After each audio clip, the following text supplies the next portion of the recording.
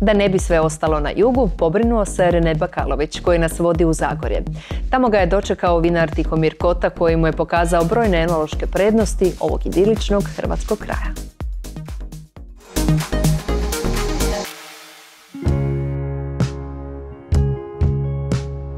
Obsesija vinom moćan je pokretač. U stanju je preokrenuti ozbiljne profesionalne karijere. Kako je tvoje objašnjenje fenomena da sve više poslovnih ljudi krenu prema vinu, čak i na neki način poslovno ozbiljno? Definitivno je to neka relaksacija od svakodnevnog stresa u svakodnevnom poslu. Znači, sam odlazak u vinariju, neke aktivnosti koje se odešavaju tu od, od, od berbe u devetom mjesecu do punjenja u kasno proljeće, u mom slučaju, e, definitivno me u podrumskim prostorima relaksiraju i oslobađaju dodatnog stresa. Svoje prvo vino sam napravio prije nešto više od deseta godina. Prvi rezultat je bio više, više nego dobar. Prvo vino sam napravio u garaži obiteljske kuće e, i kroz tih desetak godina se to razvijalo i sad smo u jednoj malo većoj garaži. Malo veća garaža zapravo je impresivna butik vinarija. Arhitektonski i funkcionalno skladno smještena uspavano zagorsko okružje.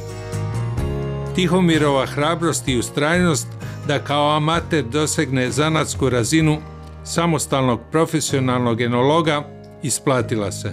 Donijela je i njemu i njegovoj obitelji novu životnu kvalitetu, promijenila u konačnici stil života, pa čak i neke važne svjetonazore. Ne bi ja rekao da sam profesionalni enolog, enolozi su ljudi koji se školuju kroz cijeli život. Ja bih za sebi više rekao da sam proizvođač vina, u tome guštam i u toj sam domeni. O proizvodnji vina sam učio kroz literaturu, e, savjetima drugih ljudi kao što su enolozi, ljudi koji su iz, vinske branše i evo, došlo do nekih svojih dobrih rezultata. E, ja sam znala kad je on krenuo da, će to, da to neće završiti na hobiju, da će to završiti malo ozbiljnija priča. Njega to ispunjava. On strašno puno vremena provodi ovdje i strašno puno vremena, e, neću reći troši, ali uložio je u vinariju ali ga jako veseli i baš ga onako silno ga diže to.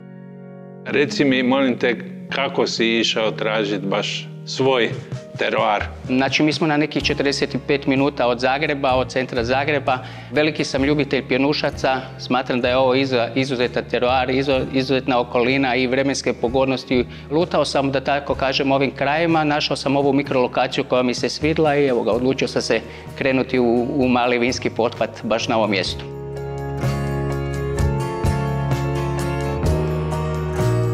Promocija i marketing butik vinarije je vrlo specifičan zadatak. Kako bi ga definirali? Vino kao materija ili vino kao piće je sveta ili sakralna stvar. I tako sa tim poštovanjem mu se i prema njemu i odnosimo. Svaki dan je novo nekako, nova spoznaja kako se odnositi prema samom plasmanu ili brendiranju imidža same vinarije i samog vina u kontekstu pjenušaca. Za koje sorte si se opredijelio, kakvu vinifikaciju, kakvo odležavanje? Znači tu, su, tu je baza definitivno Chardonnay, to je Chardonnay iz vlastitog vinograda. Tu imamo jedan iskorak gdje kombiniram Sauvignon i Chardonnay. Iako Sauvignon nije standardna pjenušava e, sorta, e, da, da napravim mali iskorak i da budem drugačiji od ostalih vinara iz ove regije.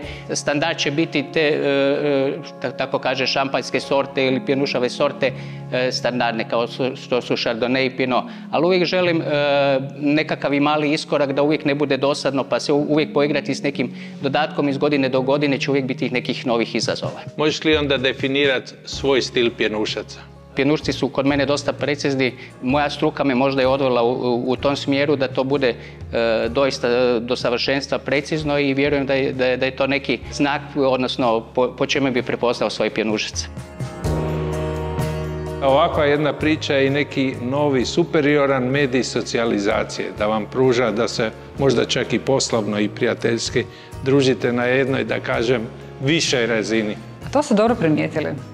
To je istina i to se dogodilo da smo mi kroz priču vina upoznali strašno puno ljudi, jako puno zanimljivih ljudi s kojih shvatite da eto, sad dijelimo nekakve iste strasti, e, dijeli nas ista ljubav, e, jednaka zabava kada u stvari čovjek shvati da postoje stvari koje su puno bitnije u životu, a zanemarili smo ih. A to je druženje i uživanje u sitnim stvarima.